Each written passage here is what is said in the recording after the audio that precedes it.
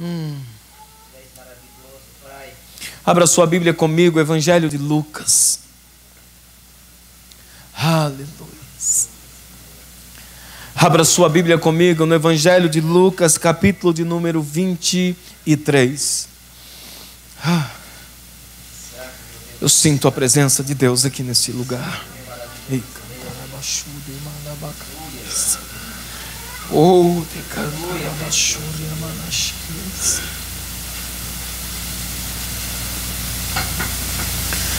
Oh, de cantar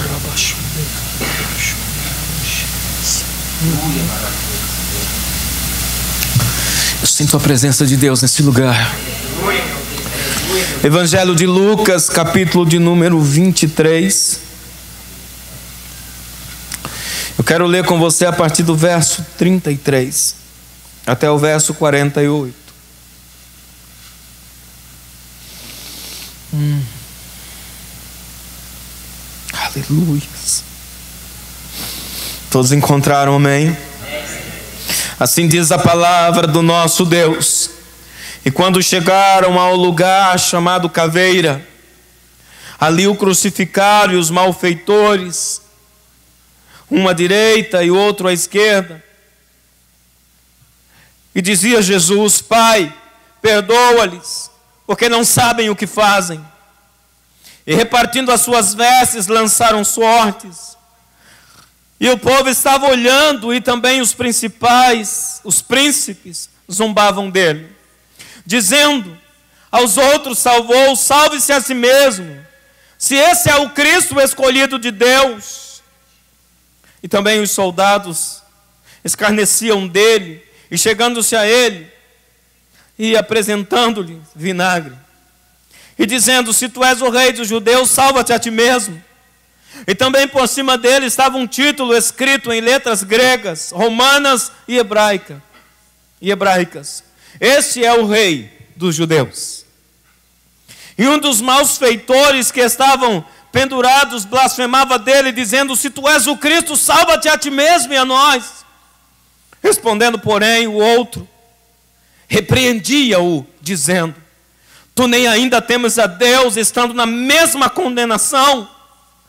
E nós, na verdade, com justiça, porque recebemos o que nossos feitos mereciam, mas este nenhum mal fez e disse a Jesus: Senhor, lembra-te de mim quando entrares no teu reino.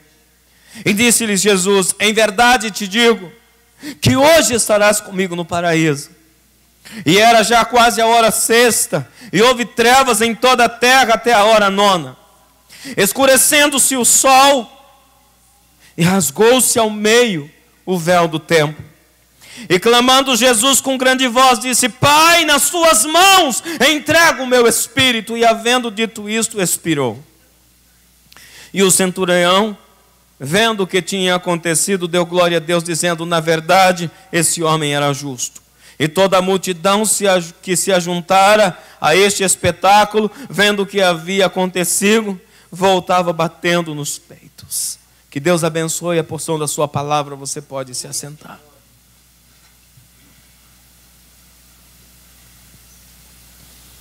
Irmãos, quando nós paramos nesta data para meditarmos sobre o sacrifício de Jesus, nós podemos nos deparar com uma série de sentimentos, e talvez até querendo entender o que se passava no coração de Deus, até querendo entender a dor que o pai sentiu. E talvez, e com certeza nesta manhã, você não irá ter a concepção dessa dor. Você, com certeza, você e eu, não teremos como dimensionar o que estava acontecendo aqui e quão doloroso foi isso. A Bíblia nos relata, amado, que antes de Jesus chegar à crucificação, os momentos antes da crucificação foram momentos cruciais na vida de Jesus, Foram momentos decisivos. Porque Jesus, ele veio ao mundo como homem, com uma missão de resgatar o homem. Não havia como Jesus resgatar-nos se ele não entrasse na nossa história. Não tinha como Jesus nos libertarmos da força do pecado. Talvez, irmão, você não dimensione o que é isso. Talvez pelo fato de Jesus já ter morrido na cruz, e nós estivermos hoje, estarmos hoje vivendo no tempo da graça, e essa graça só foi liberada por causa do sacrifício de Jesus. Talvez você não consiga dimensionar o que está acontecendo. Talvez você não consiga dimensionar a época que você está vivendo.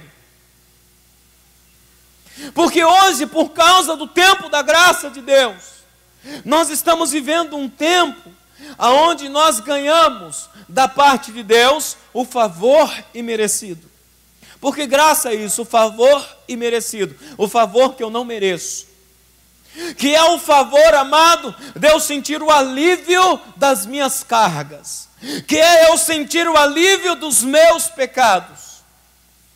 Porque se hoje eu fosse sentir o peso dos meus pecados, talvez eu não conseguisse nem sorrir.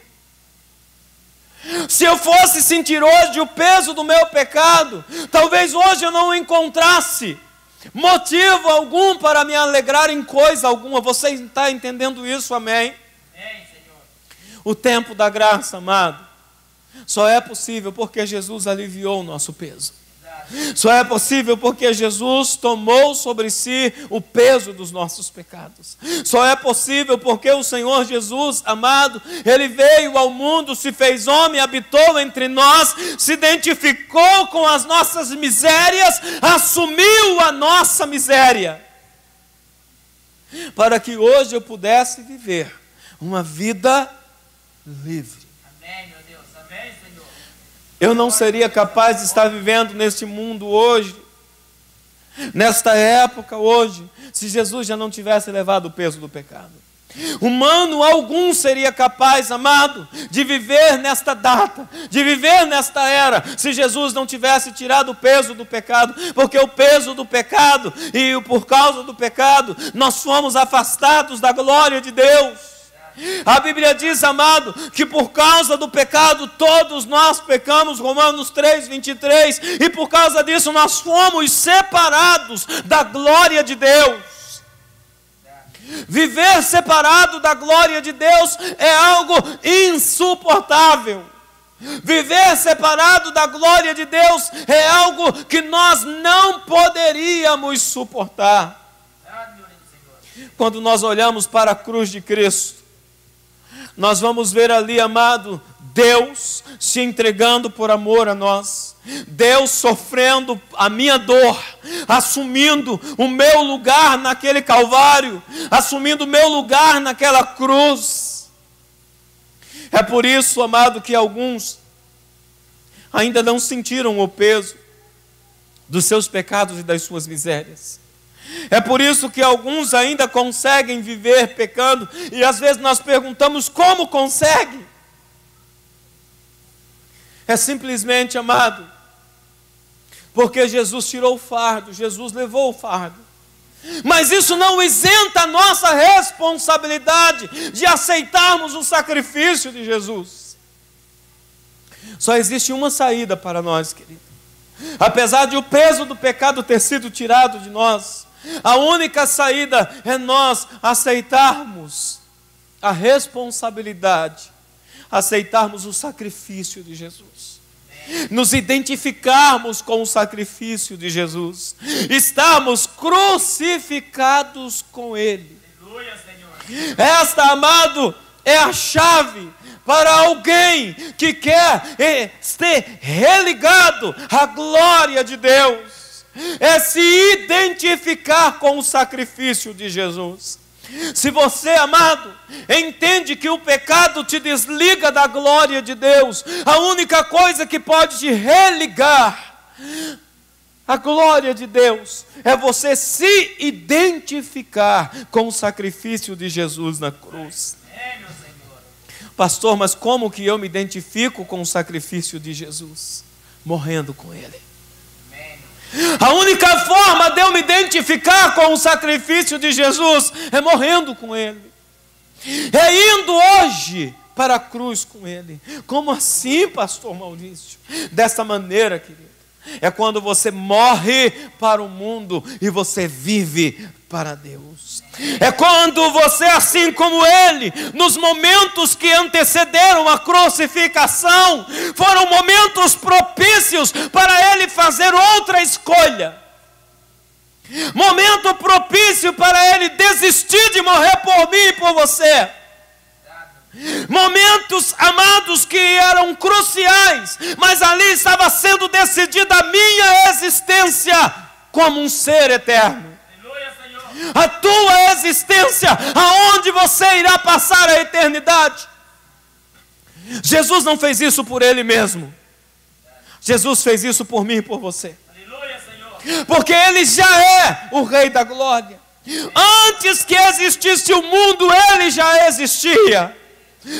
Antes que existisse eu e você, a glória dele já estava estabelecida. Ele não precisava morrer na cruz, eu precisava que ele morresse por mim. Então agora resta-nos nos identificar com esse sacrifício. Resta-nos agora, amado, olharmos para Ele e nos identificarmos com Ele. Momentos decisivos. Talvez eu esteja falando para pessoas nesta manhã que estejam vivendo momentos de decisão e talvez haja dúvida no seu coração. A primeira coisa que você precisa aprender nesta manhã é você lançar fora toda dúvida e todo medo e se lançar sem medo, confiando em Deus. Nos momentos que antecederam a crucificação, Jesus fez uma ceia, igual a essa que nós iremos realizar hoje. Ele manda preparar o lugar para realizar a Santa Ceia. E naquele momento, enquanto ele está realizando a Santa Ceia, também é um momento de decisão. Porque ali, amado, naquela ceia, Jesus estava selando o destino dele e o nosso. Você entende isso? Amém? Na ceia do Senhor, naquela Santa Ceia, Jesus estava selando o destino dele e o meu o destino dele e o teu. Você entende isso? Amém? Quando amado ele fez aquela ceia, ele poderia simplesmente dizer: Não quero mais. Chega. Naquela santa ceia, havia ali, amado, os seus discípulos reunidos com ele, entre, dentre eles um era o traidor no meio dos doze. E Jesus ali estava decidindo se ele entregaria o seu corpo, se ele derramaria o seu sangue por mim ou não. Ali Jesus estava decidindo se valeria a pena ou não. A Santa Ceia é um ato profético de selo de destinos. E Jesus ali se levanta no meio dos seus discípulos. E ele então resolve selar o destino dele e o meu destino. E o destino dele era a morte, querido. E o meu destino era a vida. Por causa da sua morte. A troca era muito injusta. Mas mesmo assim, Jesus sela. Jesus não volta atrás. Ele faz a ceia. Você entende a importância da santa ceia do Senhor? Jesus não volta atrás, ele realiza a Santa Ceia. Aquele ato profético de selar destinos. Aquele ato profético, amado, deliberadamente nos conduzia para a vida eterna. Naquele momento, Jesus estava ah, afirmando que a sua decisão por mim estava tomada. Jesus estava afirmando naquele lugar, naquele galpão, aonde, naquele salão aonde ele estava realizando a ceia do Senhor, a decisão está tomada. Eu vou morrer por vocês. Então ele diz: Esse é o meu corpo que é partido por vós, e esse é o meu sangue que é derramado por vocês. A decisão está tomada. Pedro, amado, quando soube disso, Pedro disse para Jesus: Jesus não morre, não. Não vale a pena morrer por esse bando de gente que não dá crédito para você. E Jesus repreendeu um demônio, disse: Para trás de mim, Satanás, que eu te conheço. A decisão já está tomada. Eu os amei até a morte. Eu os amei até esse ponto. Quando Jesus sela esse destino, então Jesus amado é tomado de uma agonia. E ele vai, como era de costume, para o Monte das Oliveiras. Tinha um jardim chamado Getsemane. E ali naquele Getsemane, querido, Jesus começa a receber as nossas cargas. Foi ali que começou, amado, a identificação, uma transferência de identidade. Você compreende isso, amém? E então Jesus começa a suar gotas de sangue. E então Jesus começa a ter extrema agonia. Ele então olha para o pai e diz: Pai, se é possível, passa de mim esse cálice. Mas se não é possível, cumpra-se a tua vontade em mim. Eis-me aqui. Eu sou o teu sacrifício. Quantos de nós nesta manhã seriam corajosos o suficiente para chegar para Deus hoje, mas com seriedade, com consciência, para dizer para o Pai: Pai, eu sou o teu sacrifício. Sabe qual é o destino do sacrifício? A morte. O destino do sacrifício não é outro senão a morte. Quando alguém se oferece para Deus em forma de sacrifício, o seu destino é morte. E nesta manhã, queridos, que não é apenas uma data religiosa, mas é um belo momento para nós fazermos uma reflexão. Que tipo de sacrifício tenho sido eu? Que tipo de sacrifício? Preste atenção. Deus não aceita sacrifício aleijado, cego. Deus não aceita sacrifício imundo, sujo. Não, Deus não aceita. O sacrifício que Deus aceita é um sacrifício perfeito. Deus não aceita sacrifício mutilado, sacrifício pela metade, faltando parte. Deus só aceita sacrifício perfeito. Diga isso para o teu irmão: Deus só aceita sacrifícios perfeitos. Isso nos responsabiliza nesta manhã, porque Deus só aceita sacrifícios perfeitos. Deus não aceita, queridos, sacrifícios pela metade. Quando nós olhamos para a morte de Jesus ali na cruz, ou oh, Algo move dentro de nós, eu não sei em você, mas em mim algo mexe. Algo mexe com o meu espírito, querido. Quando eu com, quero contemplar a crucificação, algo se move dentro de mim de uma forma tão intensa que eu me sinto tão pequeno. Eu me sinto tão pequeno. Mas ao mesmo tempo eu me sinto tão amado. Ao mesmo tempo, amado, que eu me sinto tão incapaz, ao mesmo tempo eu me sinto tão amado por Ele. E agora, querido? Que tipo de sacrifício nós iremos oferecer? Agora eu estou identificado com esse sacrifício de Cristo. Eu estou agora identificado com o Cordeiro Pascal. Eu estou identificado com o Cordeiro que deveria morrer pela Páscoa, porque assim a lei dizia. Que em toda Páscoa um cordeiro tinha que ser morto. E agora eu estou identificado com ele. Mas o cordeiro não pode ter defeito. O cordeiro não pode ter mancha. O cordeiro não pode ser cego, o cordeiro não pode ser aleijado, o sacrifício tem que ser completo. Isso fala, amado, de uma entrega total para Deus. Isso fala, amado, de eu e você chegarmos hoje diante dele, querido, e entregarmos-nos para ele sem faltar coisa alguma. Às vezes nós entregamos algo, uma área da nossa vida, mas tem área das nossas vidas que nós não entregamos. É sacrifício mutilado, é sacrifício que falta pedaço, é sacrifício que falta parte. Medite nisso nesta manhã. Que tipo de sacrifício você tem oferecido para Ele? Jesus, naquela agonia no Getsemane, ele começa agora a absorver, amado, dos quatro cantos da terra, todo fardo. Todo fardo, não era pouco.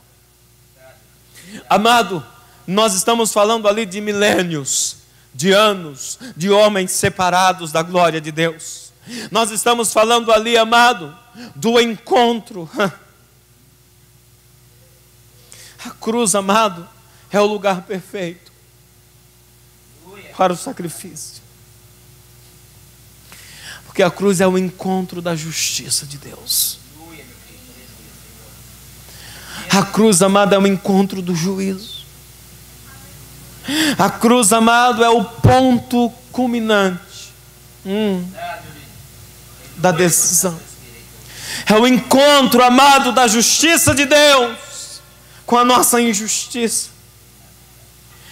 É o encontro do sacrifício perfeito com homens imperfeitos.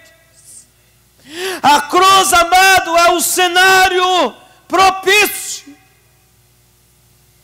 para que a justiça de Deus seja exercida. Mas naquele momento a cruz precisava ter algo oferecido nela. Naquele momento, amado, precisava ter algo, ou melhor dizendo, alguém oferecido nela nesse encontro de juízo e justiça. Algo sem defeito, alguém sem mancha, um sacrifício perfeito precisava estar pendurado naquela cruz, naquele encontro de justiça e juízo. Eu não servia para estar ali. Você não serviria para estar ali. Porque quando olhássemos para nós, quando olhássemos para nós, ou quando Deus olhasse para nós, nós seríamos impossibilitados de suportarmos tamanha carga e tamanha representação. Por isso, quando você pensar na crucificação de Jesus, não pensa apenas como o episódio de um homem sendo assassinado. Pense num sacrifício perfeito, sendo erguido entre o céu e a terra. Jesus ficou pendurado, assim como importa que a serpente seja erguida no deserto, suspendida ou suspensa. Assim importa que o filho do homem seja suspenso no ar, representando destinos selados. Aleluia, Senhor. Quando você pensa em Jesus, o que, que você pensa a respeito dele? Quem você pensa que é Jesus? O que a tela dos cinemas de Hollywood mostram? O que você pensa a respeito de Jesus? O que um dia você viu numa peça teatral ou a história que um dia alguém te contou, como você pensa em Jesus quando você pensa na crucificação. Jesus ali, amado, está decidindo o nosso destino. E ele não precisava estar ali se ele não quisesse. Ele se entrega, ele diz: Deus, Pai, contudo não seja feita a minha vontade, mas a tua vontade. Isso, amado, revela que hoje, eu e você, se quisermos ser sacrifícios perfeitos, temos que entregar o nosso livre-arbítrio. Você entendeu o que eu te disse? Hoje, se você quiser ser um sacrifício perfeito para Deus, entrega a tua vontade. A tua vontade, querido, implica em entregar o teu livre arbítrio. Que é isso, pastor livre arbítrio? Poder de decisão. Se você quiser ser um sacrifício perfeito hoje para Deus, eu te convido a entregar o poder da tomada de decisão. Que você hoje não seja você quem decide por você. Que você hoje diga assim: Senhor, eu estou aqui. Cumpra-se em mim segundo a tua vontade. O sangue de Jesus derramado na cruz do Calvário, querido, agora me purificou para que eu possa chegar diante de Deus e falar isso para Ele. O sangue, antes do sangue de Jesus, eu seria incapaz de fazer isso, porque o peso do pecado não permitiria eu fazer isso. Mas Jesus me livrou do peso do pecado, não é para eu continuar pecando, é para eu ter forças suficiente para chegar diante dele agora e dizer: Pai, eu entrego a ti o meu querer. Antes do sangue de Jesus eu não conseguiria fazer isso. Mas se você é alguém banhado no sangue, lavado no sangue de Jesus, hoje você pode chegar para Ele. Você tem, querido, a liberdade, você está livre do peso do pecado. É capaz hoje, você é capaz de dizer: Senhor, eu entrego a minha decisão a Ti. Eu não quero viver mais para mim mesmo. Hum. Ah, o mundo, querido, nos oferece tantas coisas. Queridos, o mundo nos oferece tantos prazeres. O mundo nos oferece, amado, tanta modalidade de pecado. Tantas modalidades de pecado. Mas eu posso tomar uma decisão hoje. Porque Jesus levou o peso do pecado. Eu posso tomar uma decisão hoje. De dizer, Deus, eu não quero mais viver para mim mesmo, eu quero viver para o Senhor. Após tomar essa decisão, agora presta atenção. Quando você toma uma decisão como essas, não pensa que Jesus vai anular o sacrifício, ele não vai. Existem pessoas que tomam uma decisão como esta, e eles pensam que a sua vida da agora para frente será um mar de rosas, será uma maravilha, e não será assim. O fato de você fazer uma entrega não te isenta da cruz. O fato de você hoje oferecer um sacrifício perfeito para Ele não te isentará da cruz. Tem pessoas que pensam que na empolgação, elas empolgam tanto a Deus que Deus diz: ah, Eu só queria provar o seu coração, não precisa morrer não. Ok, eu já entendi que você está disposto a morrer por mim. Era só isso que eu queria saber. Não precisa morrer mais não. Queridos,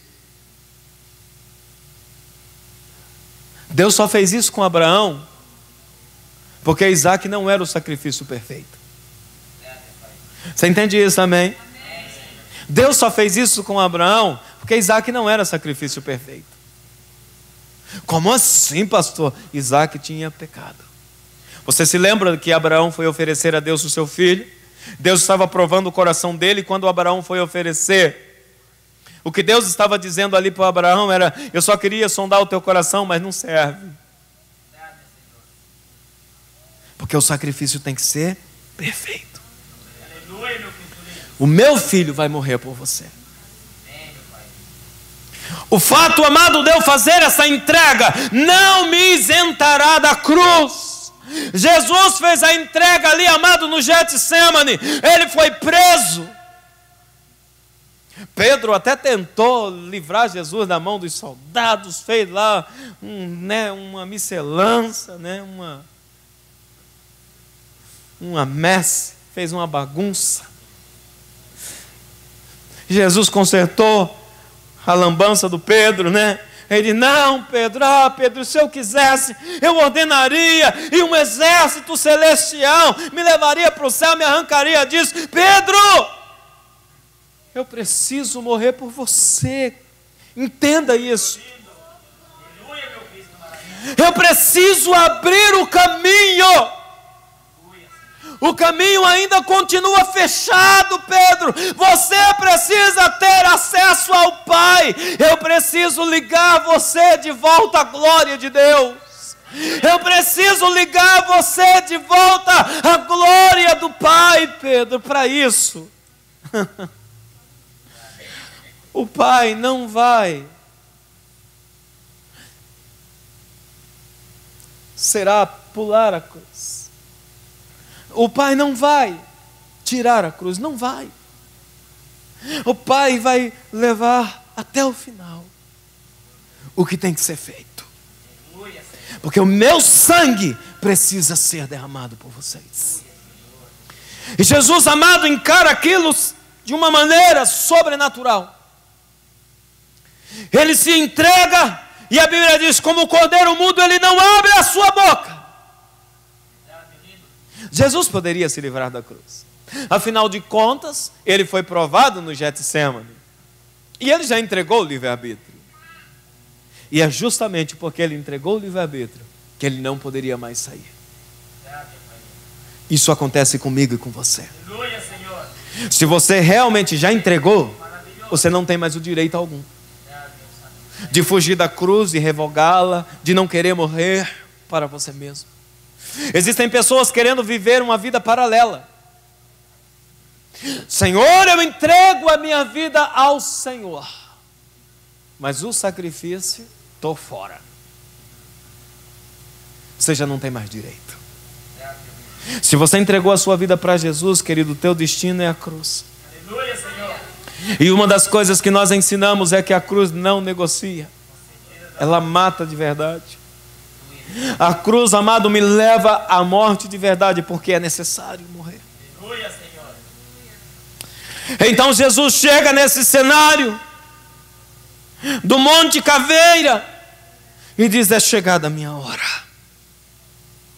Jesus é crucificado naquele lugar pregos nas mãos, prego nos pés, coroa de espinho na cabeça, esbofetearam ele, arrancaram a sua barba com as mãos, zombaram dele, escarneceram dele. Foi perante o sinédrio, foi perante Herodes, e ele suportou tudo calado. De repente, queridos, Mateus conta que de repente, para zombarem de Jesus, colocaram uma veste real nele, colocaram uma coroa de espinho nele, aí colocaram uma cana na mão dele para dizer que era o cetro. E começaram a dizer: Ô oh, rei dos judeus, você não é rei, se livra da cruz. E Jesus continuou ali, amado, em silêncio. Eles pegaram aquela cana e começaram a bater na cabeça de Jesus para aqueles cravos enfiarem na sua, na sua cabeça, no seu crânio. E ele começou ali a ficar ensanguentado e agonizando, cheio de dor, ainda fizeram ele carregar a cruz, que era o peso do meu pecado. Jesus chega nesse cenário do Gólgota, do monte chamado Caveira, e então ele é pendurado numa cruz.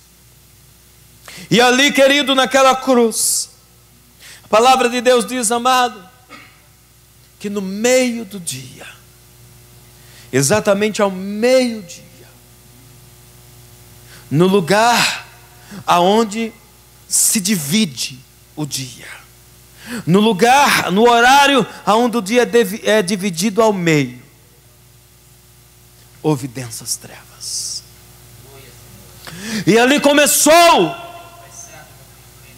aquele cenário começa a mudar. E aqueles que escarneciam dele e diziam: Oh, se você é o Salvador, salva-te a ti mesmo e a nós, e blasfemavam dele. Oh, você não é aquele que derruba o templo e edifica em três dias, então desce da cruz, Jesus.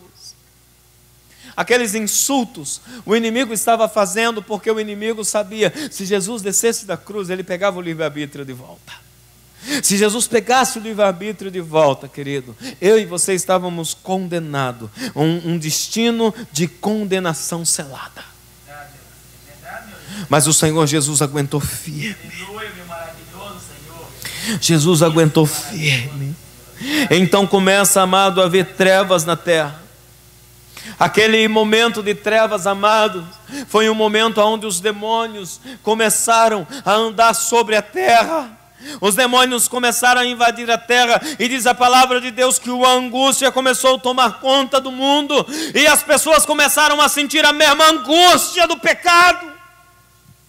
Ali estava sendo oferecido o Filho de Deus. O pai sentia aquela dor, o filho sentia a dor, o Espírito Santo se calou. As trevas começam a tomar conta do mundo. As pessoas começam a ficar assustadas porque não sabiam o que estava acontecendo, e era um momento de discernimento espiritual. Ele estava dizendo: Eu estou acabando com as trevas da separação. Eu estou acabando com esse período de falta de entendimento. Aquelas trevas, amado, representavam a falta de revelação que eu tinha a falta de entendimento que eu tinha. Era daquela forma que eu estava caminhando todos os dias da minha vida, para onde eu fosse, eu estava em trevas. Representava o estado espiritual da humanidade. E representa o estado do homem que está andando fora do sacrifício de Cristo. Representa o estado do homem quando está andando sem fazer a entrega perfeita ao Senhor. O homem que não faz a entrega perfeita ao Senhor, querido, ele anda em trevas. Ele não consegue andar em luz e ele não consegue ver coisa alguma. É por isso, amado, que o homem, quando está em trevas, você fala para ele que ele está pecando, ele não consegue ver que ele está pecando. O homem ou a mulher, amado, que está vivendo uma vida de pecado, você precisa, amado, falar-lhe, falar-lhe, falar-lhe, apresentar a luz de Cristo para ele sair daquele período tenebroso. Mas sabe o que é maravilhoso? Que no sacrifício de Cristo, querido, as trevas não permanecem para sempre. Aleluia, Senhor. Amém, meu As trevas não permanecem para sempre. O Senhor Jesus diz assim: Pai, perdoa-lhes porque eles não sabem o que eles estão fazendo. Eles estão fazendo e eles estão sentindo prazer no que eles estão fazendo, eles não estão entendendo o que está acontecendo aqui. Quando Jesus diz, Pai, perdoa-lhes porque eles não sabem o que fazem, é porque até nesse ponto eles não haviam discernido o que estava acontecendo ali. Eles estavam ainda sem revelação. Eles não conseguiriam, eles não estavam conseguindo entender. E diz a palavra de Deus que de repente, no meio daquela escuridão, rasga-se o véu. No templo, querido, havia a arca da aliança, a arca do Senhor, aonde uma vez por ano o sacerdote entrava, depois de haver feito muitos sacrifícios de animais e sangues derramados, ele entrava por ele mesmo e pelo povo. E então ali, uma vez por ano, a glória de Deus se manifestava ao sacerdote. Dizem os historiadores que aquela cortina, ela tinha aproximadamente 15 centímetros de espessura. De um tecido trançado, impossível de se romper, impossível de se rasgar com a ajuda de qualquer objeto.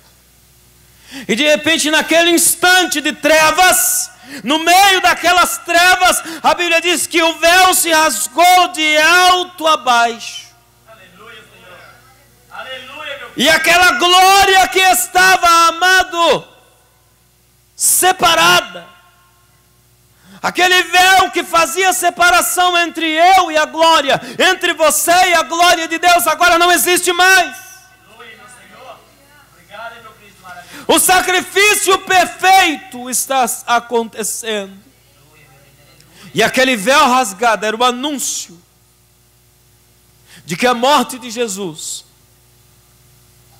seria o último sacrifício. Aleluia, Senhor.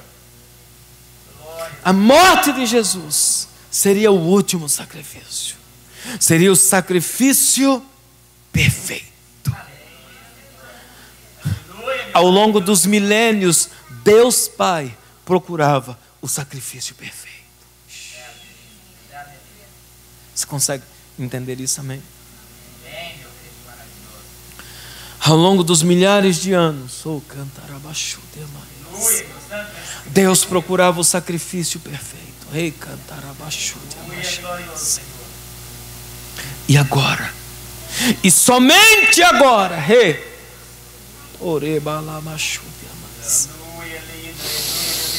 Deus encontrou o sacrifício perfeito. Quando Deus encontrou o sacrifício. Você entende isso, irmão?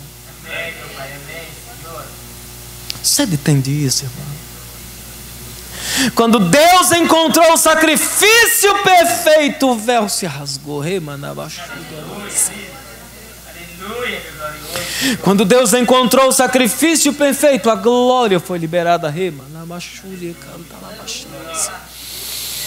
Eu fui religado a Deus. Aleluia. Exatamente naquele instante eu estava sendo religado a Deus. Hum, a glória que manifesta entre os querubins agora está acessível.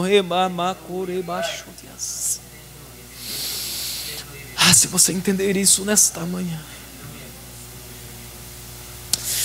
Ah, se você entender isso nessa manhã. Presta atenção, querido.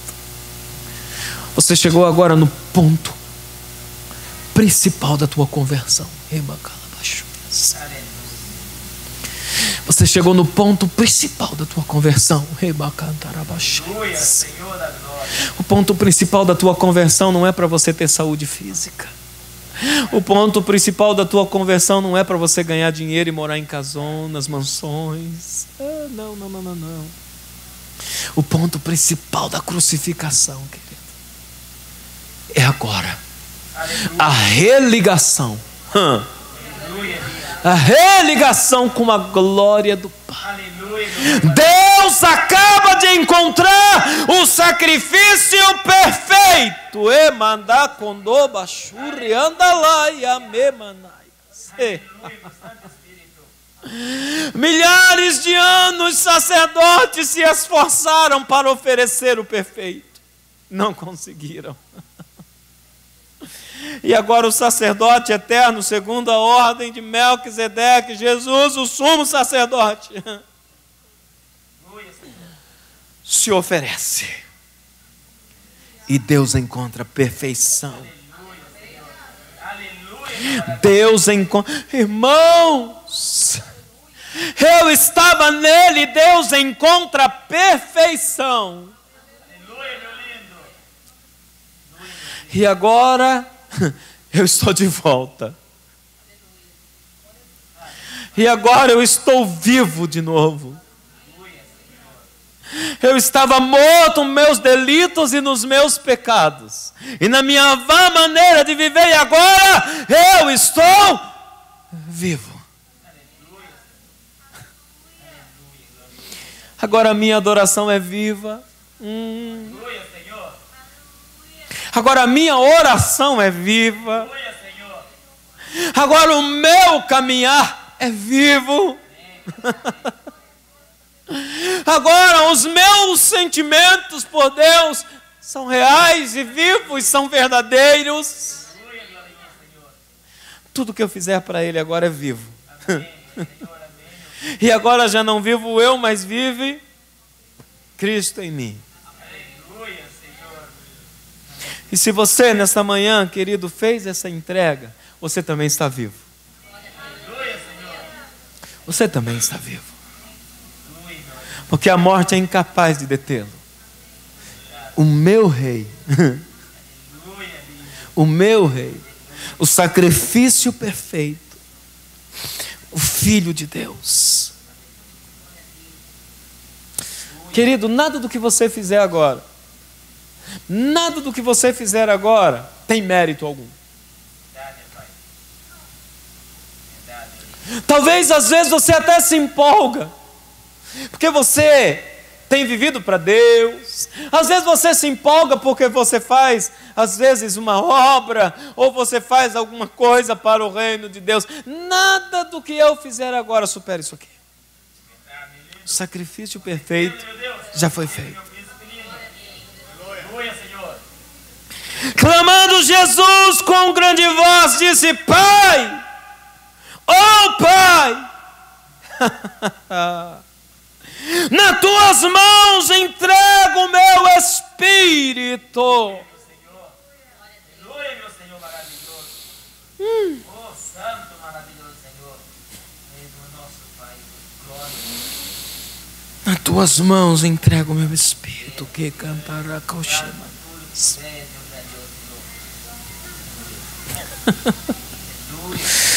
Está consumado. Está feito. Está feito, Pai. Está feito.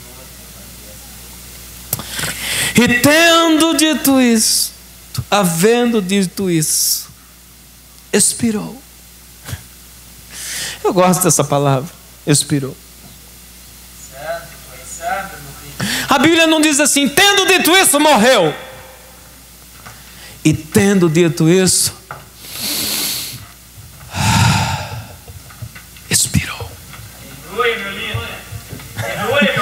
Aquele fôlego de vida, amado, foi liberado para minha vida. Oh, maravilhoso. Aquela última respiração foi para mim, querido. Ei, foi transferida para mim aquela respiração. E eu, por causa da sua morte, eu passei a viver. Eu passei a viver. Naquele suspiro, querido, estava a minha vida. Foi ali que eu fui vivificado. Agora, querido, estou livre do peso do pecado. Aleluia, meu Salvador.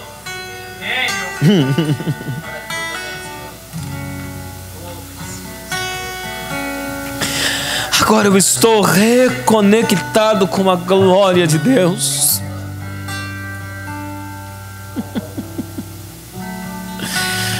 E por último, agora eu estou vivo.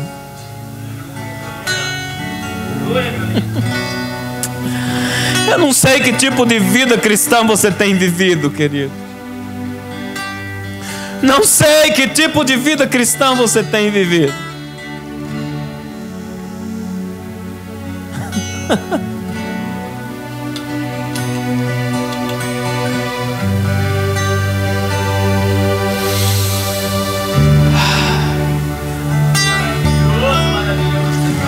Mas agora, querido, eu posso viver livre do pecado.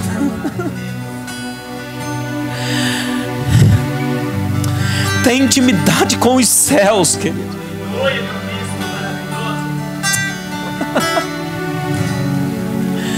Conectado com a glória do Pai.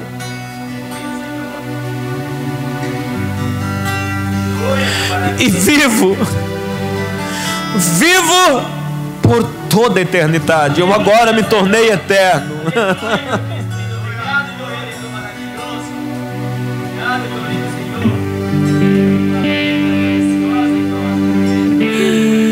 Eu não sei se você entende, amado.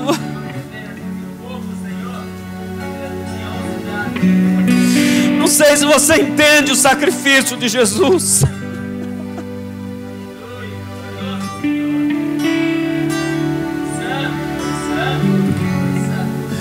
É mais do que um homem pendurado na cruz, querido. É o meu destino selado.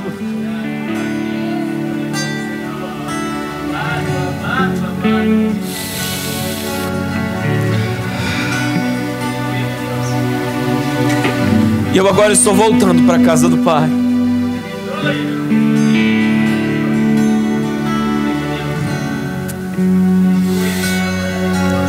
Eu agora estou voltando para a casa do Pai.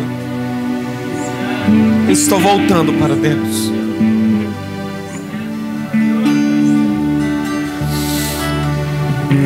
Jesus amado esteve naquele sepulcro durante três dias. No terceiro dia ele ressuscitou no domingo pela manhã.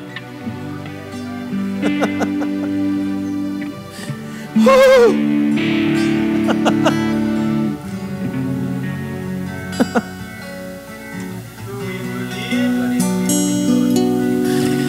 O pai começa a sorrir, os anjos começam a sorrir.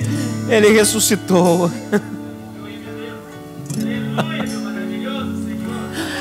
Eu penso que Jesus ressuscitou, amado, sorrindo. ah, sorrindo para os seus discípulos, dizendo: Eu não disse. Eu venci. Eu venci.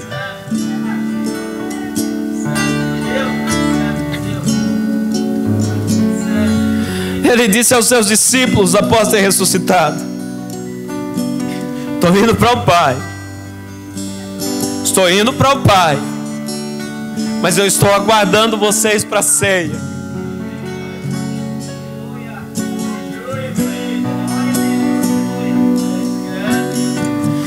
Vivam uma vida transformada. Porque eu não vou comer desse fruto até que vocês subam para o Pai.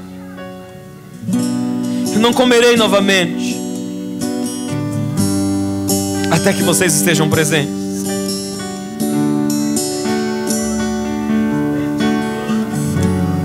Até que vocês entendam do que, que vocês fazem parte.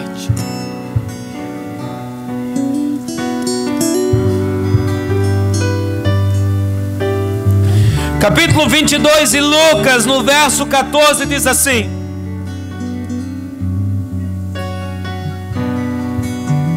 Que cantarabasso me cantarabassuas. Che de cantaramando me cantarabasso ne mandaba.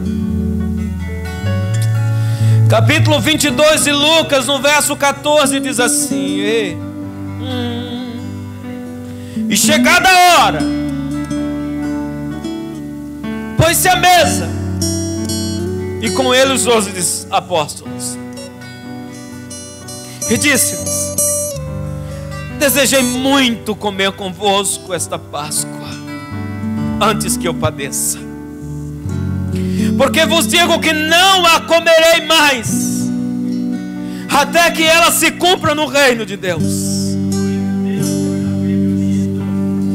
Decanta rabaco de maço verso 17 diz assim: E tomando cálice e havendo dado graça,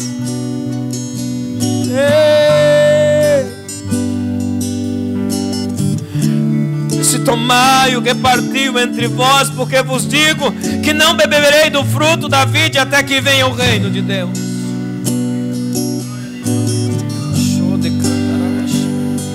E tomando pão e havendo dado graça, partiu e deu-lhe dizendo: Isso é o meu corpo que por vós é dado. Fazer isso em memória de mim, semelhantemente tomou o cálice.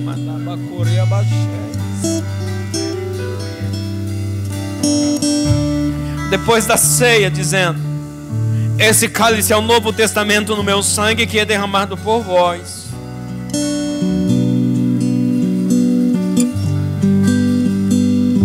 Esse cálice é o novo testamento no meu sangue derramado por vós. Há uma nova aliança. Há um novo testamento.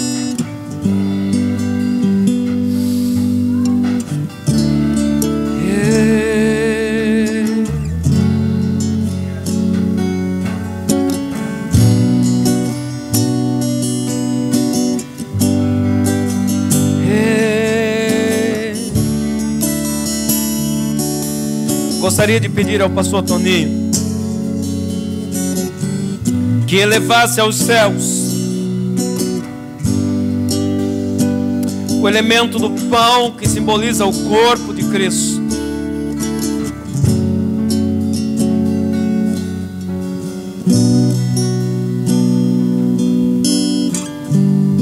E nós vamos dar graças ao Pai. Vamos nos colocar de pé.